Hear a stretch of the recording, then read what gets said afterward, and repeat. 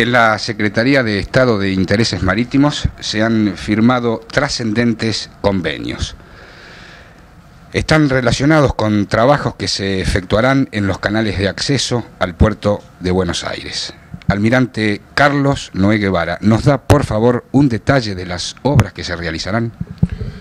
Una de las responsabilidades que tiene la Secretaría de Estado de Intereses Marítimos es el mantenimiento de las vías navegables. Es uno de los temas que hemos tomado como prioritarios desde que nos hicimos cargo, cinco años atrás. Uno de los temas que requerían fuertes inversiones del Estado, no solamente para el alquiler o la licitación de estos trabajos de profundización y mantenimiento, sino también para que la Dirección Nacional de Construcciones Portuarias y Vías Navegables tuviese su propio equipamiento, ya que era prácticamente obsoleto lo que nosotros recibimos en materia de dragas y en materia de embarcaciones auxiliares. De manera que este convenio, que es un convenio de préstamo entre bancos, bancos extranjeros que van a financiar parte de la obra, la otra parte la va a financiar el Tesoro Nacional, y después el contrato de la obra en sí misma que vamos a pasar ahora a describir, y después su dirección, que se van a firmar hoy, han llevado bastante tiempo. Es decir, trámites burocráticos de todo tipo, pero de todas maneras podemos sentirnos satisfechos que hoy podamos, después de haber transitado del orden de los tres años, diría yo, para llegar a perfeccionar estos contratos, eh, que hoy eh, concretemos el tema y empecemos a trabajar dentro de muy poco.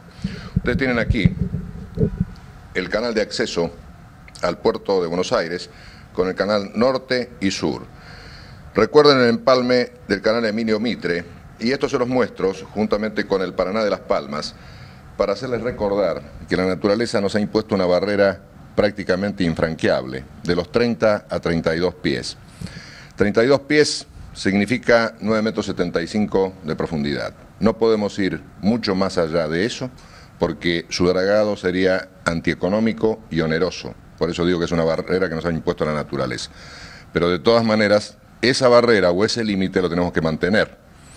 Es decir, que los trabajos que se van a realizar van a ser aquí, de profundización y ensanche del canal de acceso del puerto de Buenos Aires, con su canal norte y su canal sur.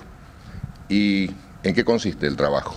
El trabajo consiste en ensanchar el canal en su solera, y la solera no es otra cosa que la distancia que separan a los bancos del propio canal.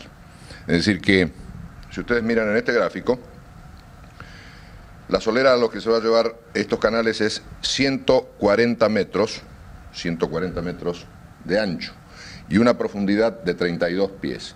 Vale decir que este canal de acceso al puerto de Buenos Aires, el canal norte y el canal sur, van a estar profundizados a 32 pies, que como les decía es el límite máximo que podemos ir en cuanto a profundidad se refiere.